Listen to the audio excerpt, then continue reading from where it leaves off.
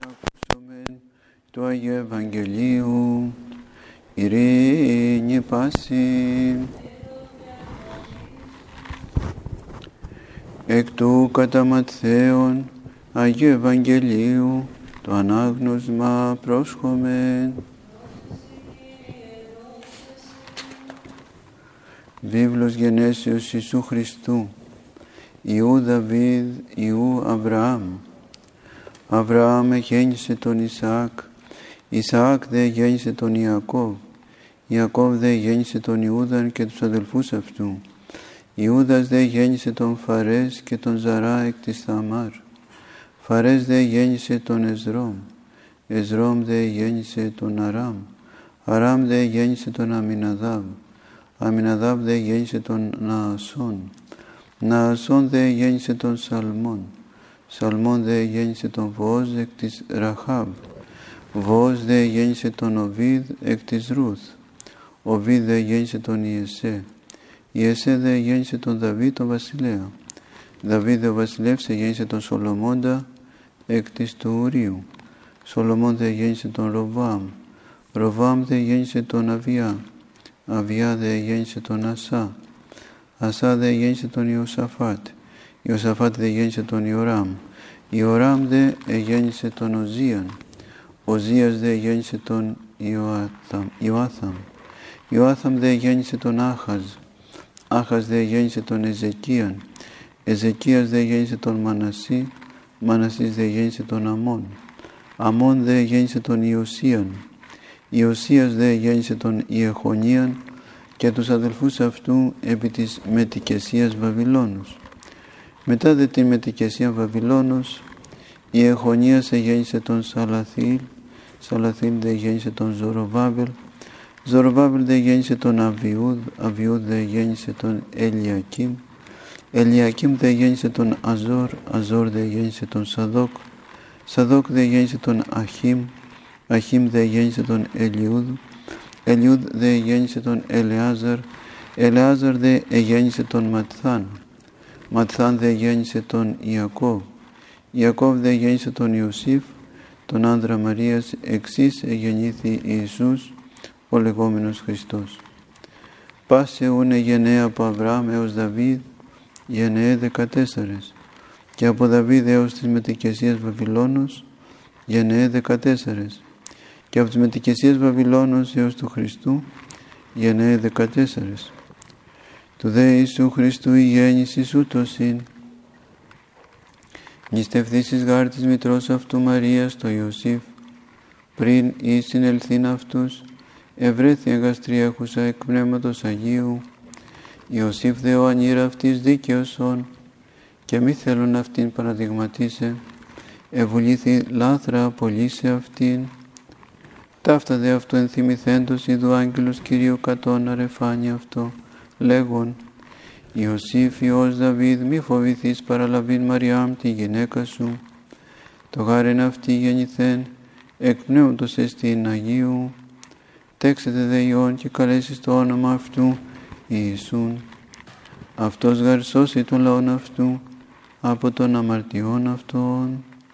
Τούτο δε όλων γέγονεν ή να πληρωθεί το ρηθέν υπό το Κυρίο δια του προφήτου λέγοντος «Ιδού η Παρθένος εγαστρία έξι και τέξετε Υιόν και καλέσουσι το όνομα αυτού Εμμανουήλ. Ο εστί με θερμινευόμενον με θυμών ο Θεός. Διεγερθείς δε ο Ιωσήφ από του ύπνου επίης ενός προσέταξεν αυτό ο άγγελος Κυρίου και παρέλαβε τη γυναίκα αυτού και ού και γίνος και να αυτήν έως σου έντεκε τον ιόν αυτής των πρωτότοκων και κάλεσε το όνομα αυτού Ιησού.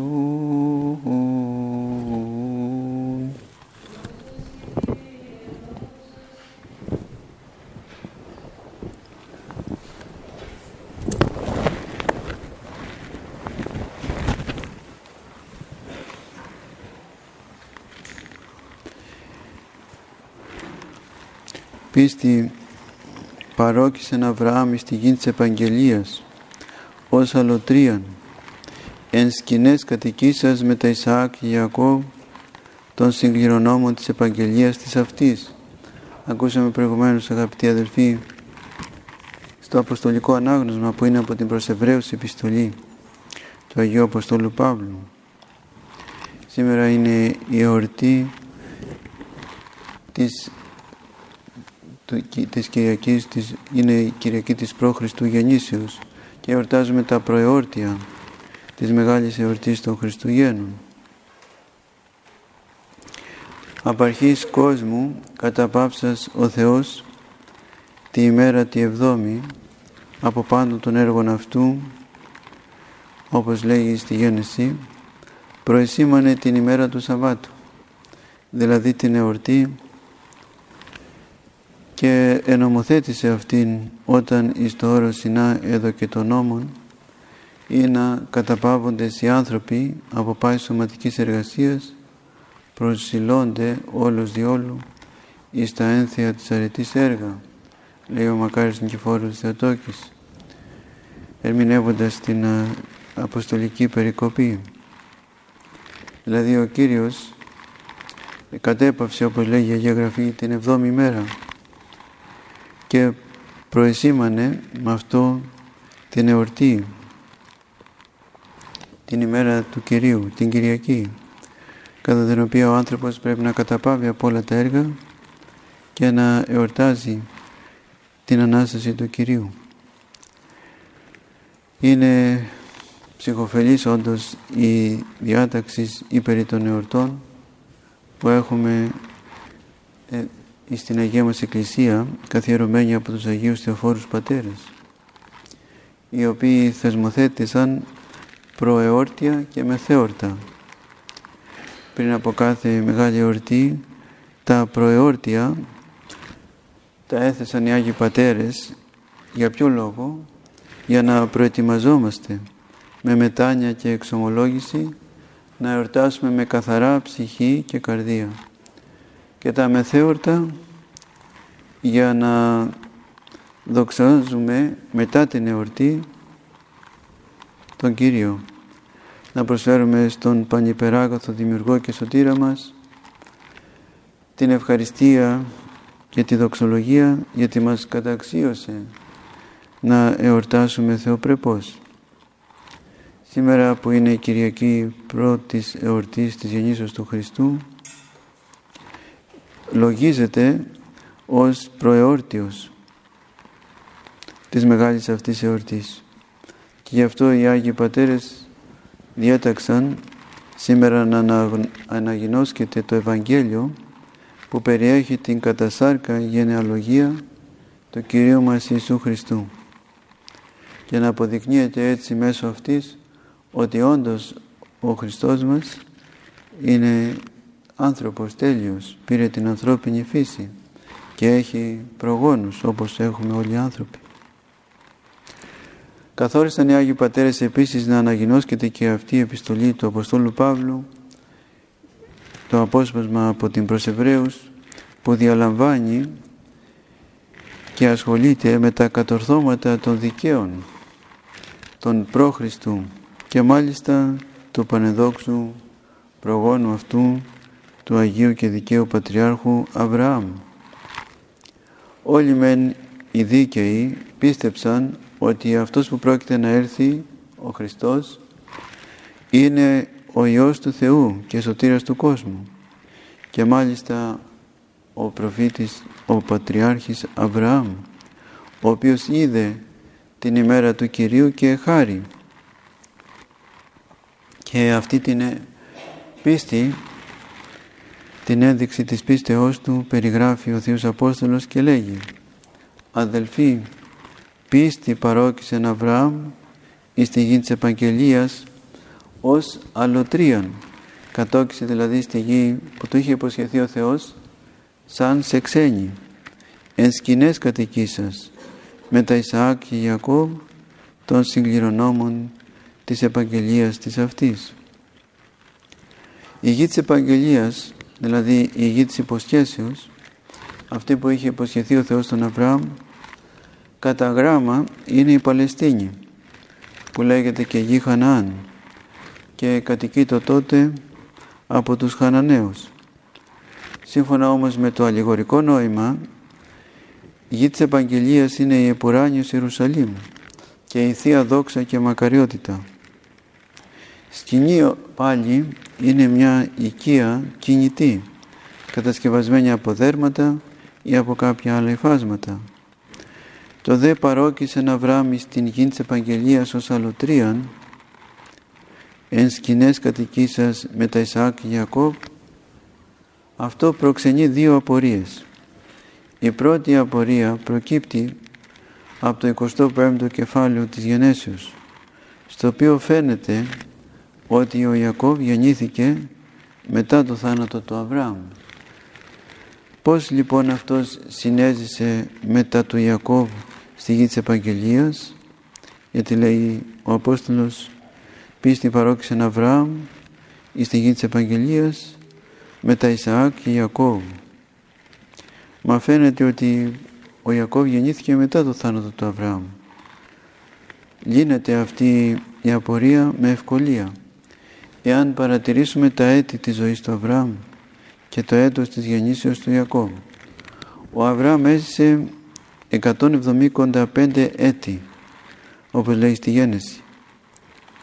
Και ήταν 100 ετών όταν γέννησε τον Ισαάκ. Ο δε Ισαάκ ήταν 60 ετών όταν γέννησε τον Ιακώβο, σύμφωνα πάλι με τη γέννηση. Και από αυτά λοιπόν είναι φανερό ότι ο Ιακώβ γεννήθηκε 15 έτη πριν πεθάνει ο Αβραάμ. Και αν το ηρημένο κεφάλαιο ιστορεί του Ιακώβ τη γέννηση μετά το θάνατο του Αβραάμ δεν λέγει όμως ότι αφού απέθανε ο Αβραάμ τότε γεννήθηκε ο Ιακώβ και έτσι δεν υπάρχει καμιά αντίφαση ούτε αντιλογία. Η δεύτερη απορία γεννιέται από αυτές τις υποσχέσεις του Θεού γιατί ο Θεός ρητά και απερίφραυστα, απερίφραυστα υπεσχέθηκε στον Αβραάμ και του είπε «Πάσαν τη γη ειν σύ οράς, σύ δώσω αυτήν». Αυτή τη γη που βλέπεις θα στη δώσω σε σένα και το σπέρματί σου και σου απογόνους σου έως αιώνος. Αναστάς διόδευσον τη γην, είστε το μήκος αυτής και είστε το πλάτος και είστε το πλάτος. Ότι εσύ δώσω αυτήν και το σπέρματί σου εις τον αιώνα. Πώς λοιπόν ο μεν παντοδύναμος και αψευδέστατος Θεός υποσχέθηκε σε αυτόν τη γη της Επαγγελίας και αυτός ο Αβραάμ έζησε σε αυτή σαν πάρικος και ξένος κατοικώντας σε σκηνές και όχι μόνο αυτός, αλλά και οι απογονοί του, δηλαδή ο Ισαάκ και ο Ιακώβ, οι συγκληρονόμοι αυτής της γης. Πώς μετά από μια τέτοια υπόσχεση, ου και έδωκεν αυτό κληρονομίαν εν αυτή, ουδέ βήμα ποδός, όπως λέει πάλι στις πράξεις. Ο Αβραάμ δηλαδή δεν απέκτησε τίποτε δικό του. Αληθώς, το Αβραάμ οι απόγονοι αφού εδουλώθησαν 400 χρόνια στην Αίγυπτο έφυγαν από εκεί και κατεκυρίευσαν τη γη της Επαγγελίας αλλά και αυτή η εξουσία τους πάνω στη γη Χανάν δεν ήταν αιώνιος όπως υποσχέθηκε ο Θεός στον Αβραάμ που του είπε «Σι δώσω αυτήν και το σπέρματί σου εις τον αιώνα» ήταν πρόσκαιρη η εξουσία που είχαν οι Εβραίοι στη γη Χανάν γιατί εξήγηψε αυτή την εξουσία παντελώς ο, ο, ο Εσπασιανός και ο Τίτος.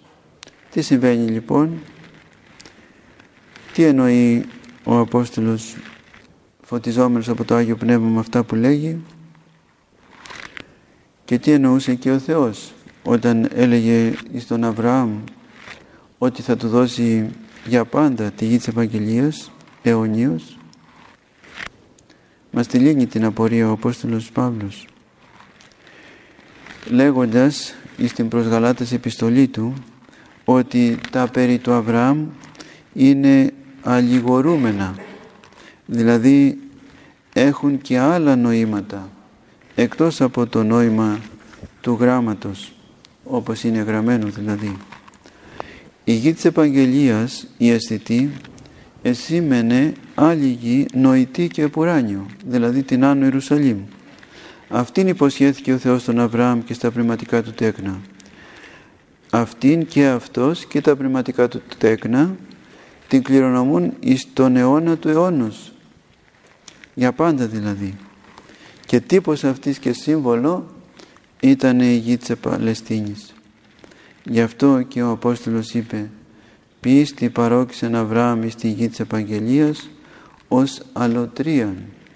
Κατόκισε εκεί σαν σε ξένη γη γιατί ο σκοπός του και όλων των απογόνων του ήταν η Άνω Ιερουσαλήμ. Ήταν η Βασιλεία του Θεού. Γι' αυτό κατόκισε στη γη της Επαγγελίας στην Παλαιστίνη ως πάρικος και ως ξένος πιστεύοντας ότι και αυτός και όλοι οι απόγονοι του οι πνευματικοί του απόγονοι δηλαδή οι χριστιανοί αυτοί που θα πίστευαν εις τον Ιησού Χριστό θα κληρονομήσουν τον Επουράνιο Ιερουσαλήμ και αυτό το επιβεβαιώνουν και τα επόμενα λόγια που λέει ο Απόστολος εξεδέχεται ο γάρ λέει την τους θεμελίους έχουσαν πόλην εις τεχνίτης και δημιουργός ο Θεός. Δηλαδή είχε απαντοχή, ανέμενε να κατοικήσει εις την πόλη που έχει τους θεμελίους και οι θεμέλοι είναι οι Άγιοι Απόστολοι τις οποίες τεχνίτης και δημιουργός της Άνω Ιερουσαλήμ, της Βασιλείας του Θεού είναι ο ίδιος ο Θεός. Ακούς γιατί ο Αβραάμ έζησε ως πάρικος και ξένος στη γη της Επαγγελίας. Γιατί, διότι, λέγει ο Άγιος Απόστολος, ήλπιζε και περίμενε την απόλαυση της πόλεως η οποία έχει τους θεμελίους και τεχνητεύθη και δημιουργήθηκε από τον Θεό. Και αν παρατηρήσεις τους χαρακτήρες αυτής της πόλης βλέπεις ότι αυτή δεν είναι ηλική και επίγειος αλλά νοερά και επουράνιος. Πρώτος χαρακτήρας αυτής είναι τα θεμέλια. Δεύτερος η θεία αυτής τεχνοσύνη και δημιουργία. Ποια πόλη όμως γίνει δεν έχει θεμέλια, καμιά. Και από αυτό είναι φανερό ότι ο Απόστολος είπε την, του θεμελ, την τους θεμελίους έχουσαν πόλην για να φανερώσει το στερεό και αμετάβλητο της πόλης εκείνης. Κάθε επίγεια πόλης μεταβάλλεται και διαφθείρεται και καταστρέφεται. Εκείνη όμως η πόλης μένει αιωνίως, αμετάβλητη και άφθαρτη. Τις επίγειες πόλεις τεχνητεύουν και οικοδομούν οι χείρες των ανθρώπων. Αυτή την πόλη την ετεχνίτευσε και τη δημιούργησε η δεξιά του υψής του Θεού. Αυτή λοιπόν είναι η πόλη την οποία κατά αποκάλυψη είδε ο Άγιος Ιωάννης ο Θεολόγος και έδειξε μη λέγεις στην Αποκάλυψη την πόλη τη μεγάλη την Αγία Ιερουσαλήμ καταβαίνουσαν εκ του ουρανού από του Θεού. Και το τείχος της πόλεως έχουν θεμελίους δώδεκα και εν αυτής ονόματα των δώδεκα Αποστόλων του Αρνίου.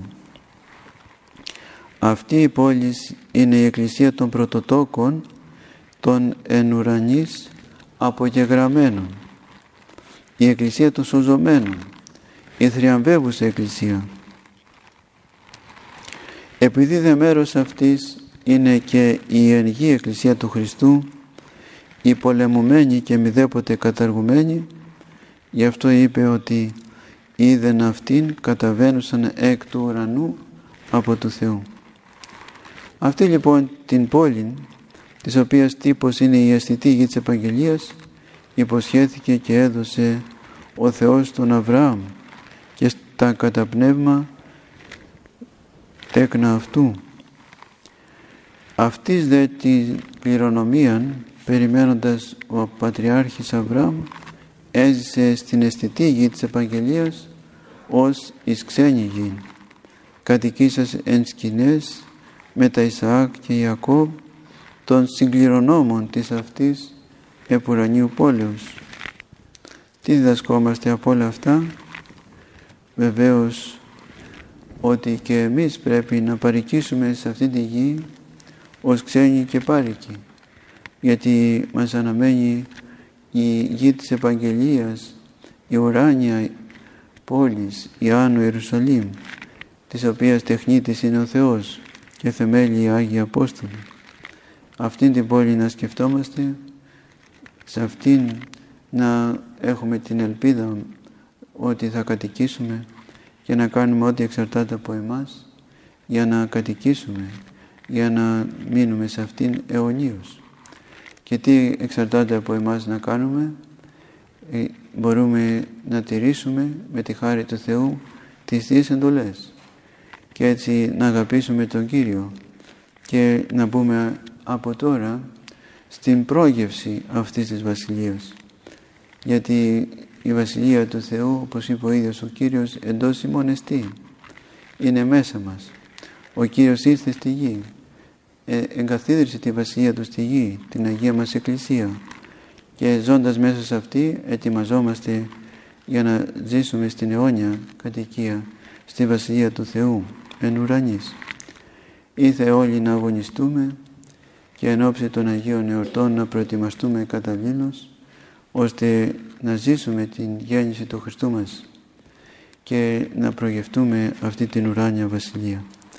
Το δε Θεό ημών δόξα πάντοτε, νυν και αεί και εις τους αιώνας των αιώνων. Αμήν.